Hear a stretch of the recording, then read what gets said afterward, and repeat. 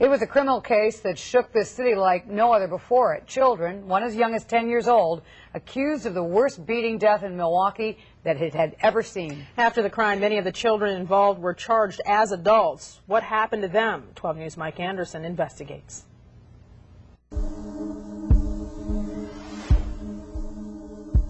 It's the first week of October 2002. A group of children, the youngest age 10, make all the headlines as they are paraded through juvenile court, accused as adults of perhaps the worst beating death in Milwaukee history. It was so shocking and so horrific to think that kids of this age could do something like this. Why the hell weren't these kids in bed? Judge Dennis Cimpl screamed his outrage while the victim, 37 year old Charlie Young Jr., was laid to rest. His blood still staining the Central City house where he tried to seek refuge from the mob of boys who kicked and stomped him to death. It was so many, I can't, it was a lot of people, so I couldn't basically tell you. Kenny Mays was 13 at the time, one of the poster boys of the crime. In court, he looks lost, confused, like he has no idea why he's here. In a way, he does, and in a way, he doesn't. I was kind of scared, and I was I had tears come out because I feel bad for that. But basically, I was basically I, I was thinking if I could take it back, I would, but I can't because he's gone now. Here's what we know. We know that it started over something stupid. One boy said something Charlie didn't like. Eggs and punches were thrown. Then it grew senselessly out of control. And while the books have been closed on the Charlie Young case, here's what we don't know how it will end for the boys as they become men. The rate that we've got here of the reoffending is a little scary because you'd think if you were charged with homicide at 13 or 14 or 15, the last thing you would ever want to do when you got out was get in trouble again. Let's look at what happened to the boys. There were 14 charged defendants in the case. Of the 14, three were resolved in the juvenile system, including the 10 year old. Five are still in prison.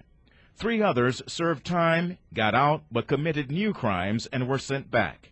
Another one has a new felony case pending right now. Only two did their time and have stayed clean. Now 18, Kenny Mays was initially ruled incompetent in the Charlie Young case because of mental retardation. He got off with supervision in a halfway house, but soon reoffended. They started sending him home on passes, and he was going home to his mother. And while she's a nice lady, she's not capable of supervising him. No one else was supervising him, so he started going out playing on the streets with his friends, and that's when he uh, ended up in a stolen car in a police chase. I asked Kenny why he put himself in this predicament, back in jail. He doesn't really give an answer, except that he has lived a life of lawlessness and a lack of discipline almost since the day he was born. Artis Shanks would follow a similar path. Just 13, he looked scared and remorseful shortly after the beating in an interview with 12 News. Last year, he was charged with armed robbery, with use of force, and substantial battery with intent to do bodily harm. It's a sad thing, but some of these kids actually have it better off in prison. There are a number of kids, not all of them, who, when they come into the detention center, feel safe for the first time in their lives.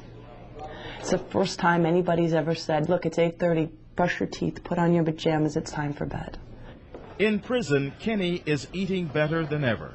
He's got health and dental care, and he's learned to read and write, even with his mental disabilities. He's going to school and taking it seriously for the first time. Whatever I can get, I'm just trying to try to get it. I can go ahead and get out, get this out the way. The jailhouse staff says Kenny has been a model prisoner. When he's free next year, his goal is to become a model citizen. There are many who believe Charlie Young died because he ran into a bunch of kids who can't find what they need to succeed at home and in their neighborhood. Good parenting and good schooling. That's still missing today.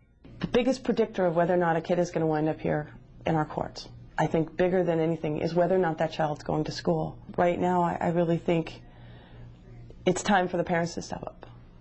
And they need to start it at home because that's really where it does start. And until we get a handle on that, we're never going to stop things like this. Well, let me ask this. Has it been good for you being in here, disciplined, going to school, being away from that kind of environment? Basically, if I was out there, I'd probably end up in some old trouble, or that's why I'm probably I'm glad I'm coming here right now doing this look, trying to change. So, what was the lesson from the tragic beating death of Charlie Young? Well, five years later, it repeats itself every day in juvenile court. According to juvenile prosecutor Joy Hammond, every time a child is arrested for car theft, a shooting, a robbery, a beating, most of the time it's a child who is not going to school and not being supervised or disciplined properly by his or her parents. And Mike, Kenny Mays, he gets out, what did you say, in about a year? What, what's his plan then? What does his future look like? Well, he has people pulling for him. He gets out one year from this month. His lawyer says he's going to need real supervision, especially in the beginning, so he can stay away from negative influences, and we hope for the best for him. All right, Mike, very interesting. Thank you. Bet.